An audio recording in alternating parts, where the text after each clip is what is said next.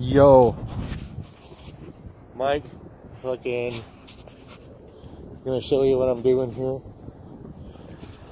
So this is how we stucco when it's minus 20 all the time in Canada. Build up some scaffolding, and we wrap the scaffolding in insulated tarps. So I'm gonna take you and show you real quick what we've been doing for the past couple weeks. Walk in the bubble here. So this is going to be uh, a EIFS stucco, a it system, four and a half inch drainage channel foam. This is layer one.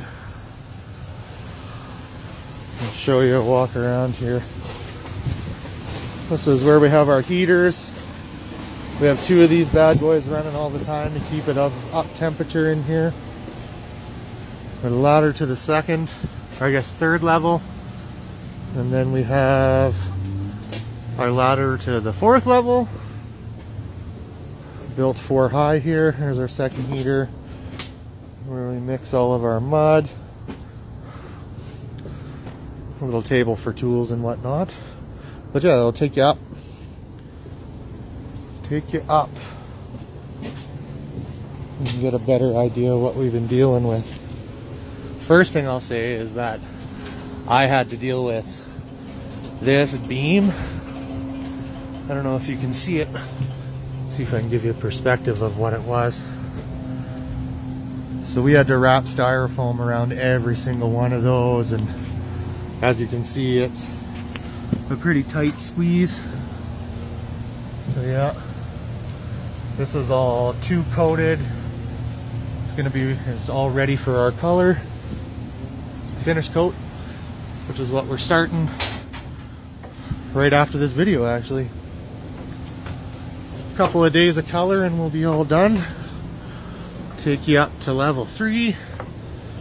Then you can get a better idea from level three of the undertaking that we went through. I'll walk you down to the end so that you can see properly. I'll come outside actually. So, the long walk all the way to the end.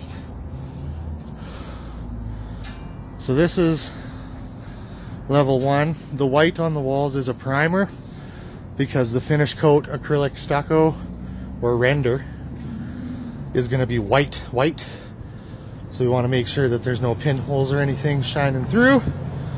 As you can see, there's a band up top that's going to be a different color that goes all the way. And then we have a huge white section that goes. And then if you look down, the two panels underneath are going to be also a different color.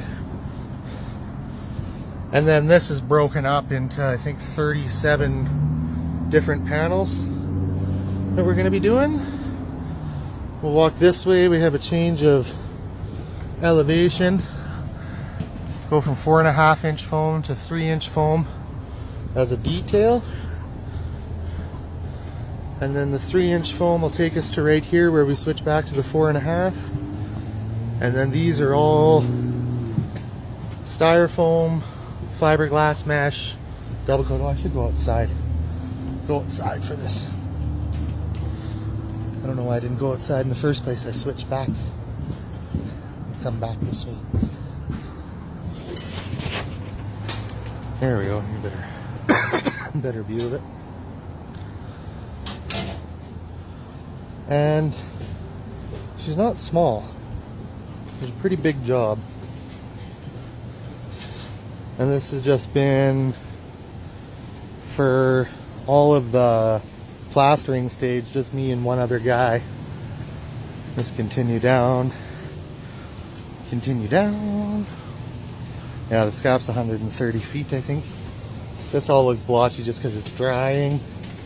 Just finished this up this morning. And then I'll take you up one second to level four.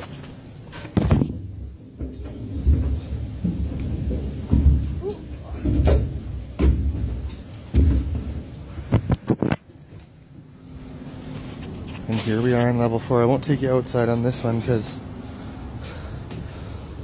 the planks into this.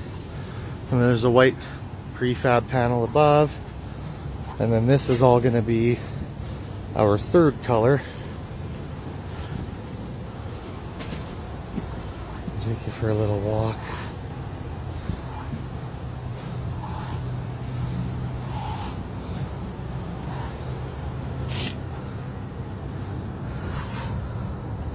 So yeah, where you gotta duck your head low here because the way our hoarding is. And then if you, I don't know if you can see the hoarding, but, and then like I said, we got a little three inch band that goes that way. So yeah, that's what I'm fucking doing. Hope you guys have a good day. See you later.